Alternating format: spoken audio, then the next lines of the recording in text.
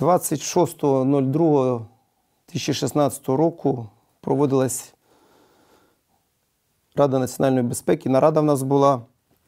Піднімались проблемні питання щодо поставки е, військовослужбовців за контрактом. Тобто не виконали план по поставці 4 райони, в тому числі і Шацький район. Е, План поставки у нас 10 чоловік. Ну, у нас є один бажаючий, то працівник е, Шацької адміністрації.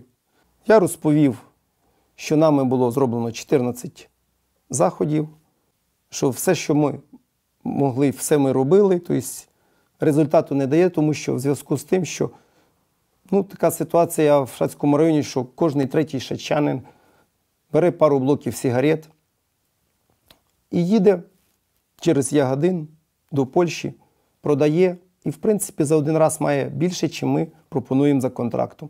На що Володимир Петрович Гунчик сказав, що Ігор Адамович, такого явища в нас нема, контрабанда у нас нема в нас контрабанди, ви щось придумуєте. Він мене чекає 29.02 в понеділок заявою на звільнення.